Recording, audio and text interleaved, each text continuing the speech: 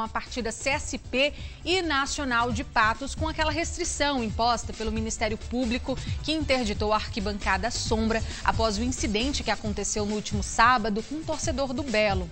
Então vamos ver como é que fica aí a tabela de classificação antes do início desta sexta rodada. No grupo A, a gente tem aí o líder, Botafogo, com 15 pontos e 100% de aproveitamento. Em segundo está o Souza com 11 pontos, em terceiro o Nacional de Patos com 9 pontos, em quarto aparece o 13 com 6 e na lanterna está o Serrano com 4 pontos. Vamos ao grupo B. Campinense é líder com 10 pontos. Em seguida vem o Atlético com 9 pontos. Em terceiro está o Perilima com 5 pontos. Em quarto, o Esporte de Patos com 3 pontos. E por último está o CSP, que ainda não pontuou. E ainda falando de futebol.